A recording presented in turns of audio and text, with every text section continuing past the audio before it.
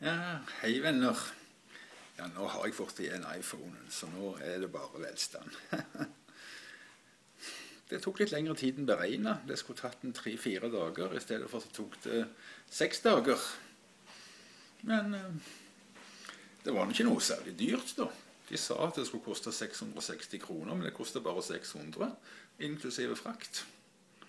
Så nå er det velstand. Nå har jeg en telefon som uh, varer litt mer med godt batteri. Sånn som iPhone normalt er. De pleier jo å ha gode batterier. eller Egentlig har jo ingen smartphoner det, da. Ikke så veldig gode i forhold til disse litt dummere telefonene. Nå er det ikke så lenge til vi skal tilbake igjen til Spania. Det er grytidlig lørdag morgen. Flyet det går sånn at vi må være ute på Sola og Skikken klokka fire om natten. Så det blir begrensende for hva vi kan gjøre på fredagskvelden.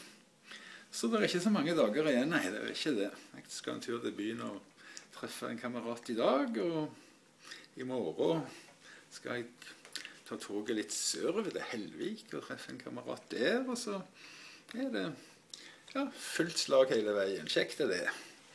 Vi kommer tilbake igjen til Norge til jul. Det var ikke meningen vi skulle gjøre det, men nå har det blitt bestemt at vi gjør det likevel. Været har vært ganske bra tidligere i dag, men nå har det kommet tilbake til dette her eh, normale, litt begredelige, sure yret og ja, konstant vått. I Merida der regner det jo ikke. Det har ikke regna så lenge vi har vært her. Litt dumt. Det kunne jo godt regna mens vi var i Norge. Fylte opp magasinene. Men den gang ei.